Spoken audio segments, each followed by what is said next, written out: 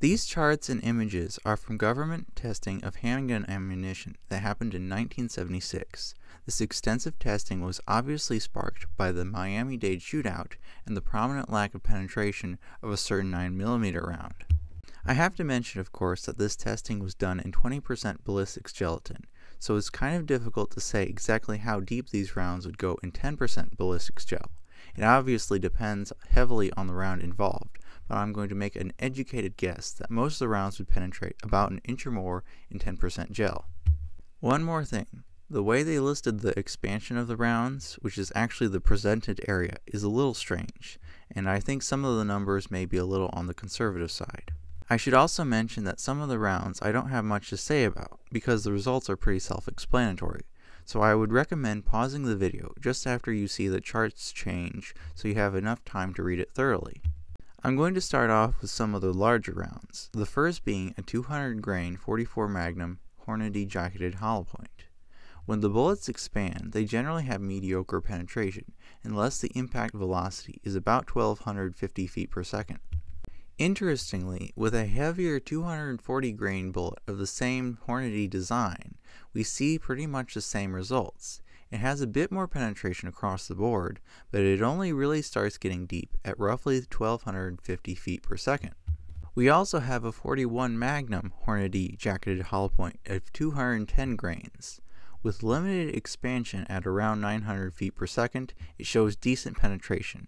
It gets much better though at roughly 1160 feet per second, when it has both good penetration and plenty of expansion. This is the only jacketed soft point I'm going to show, and it's a Winchester 100 grain 9mm round.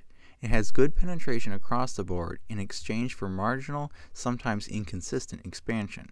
At higher speeds, like over 1500 feet per second, the expansion is good but penetration is quite lacking.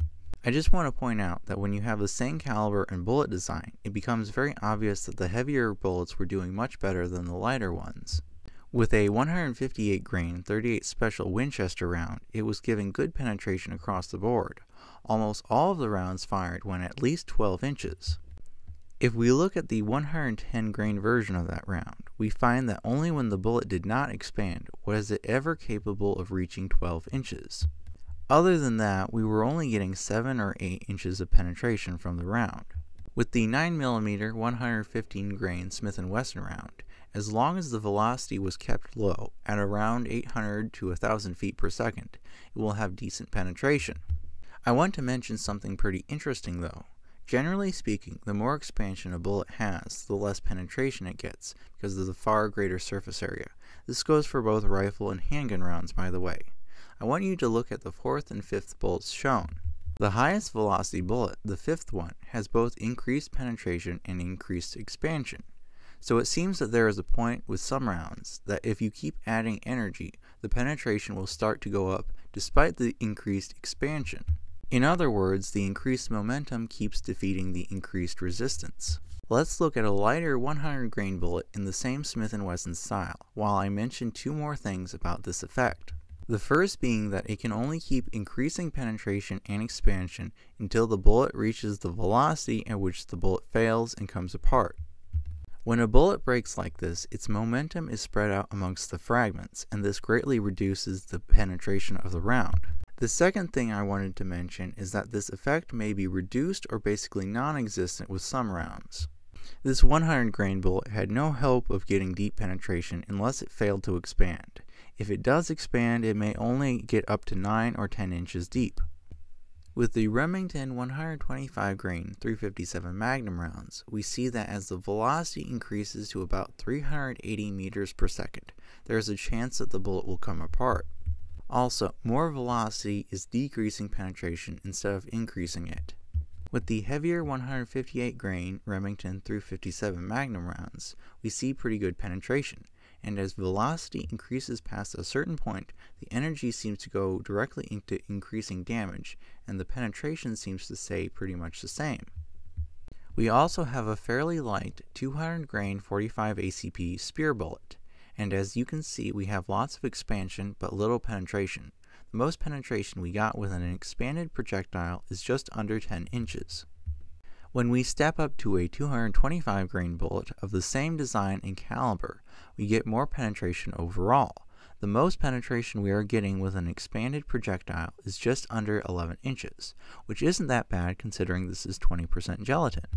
With 357 Magnum 110 grain Speer load, its penetration is fairly low, only 9 inches at most with expanded bullets. And at 1700 feet per second, we see bullet failure and jacket separation.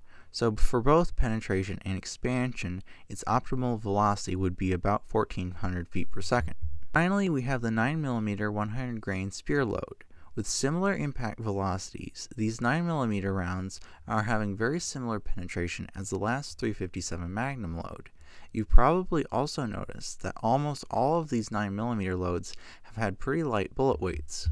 Lighter bullets were more popular in the 70s, so that's what the government tested.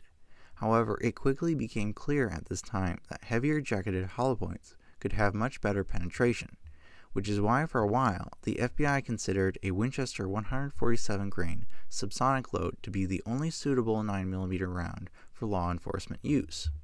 The original reason why I wanted to do this video was because I wanted to know why Winchester white box jacketed hollow points do well in calibers like 9mm and 40 Smith & Wesson, but generally underpenetrate in calibers like 357 Magnum and 38 Special. I knew back in the 70s it was very common to have underpenetrating jacketed hollow points, so my hypothesis was that Winchester may have been using the same bullet design they had always have for 38 and 357 Magnum, but choosing a more modern design for calibers like 9mm and 40 Smith & Wesson.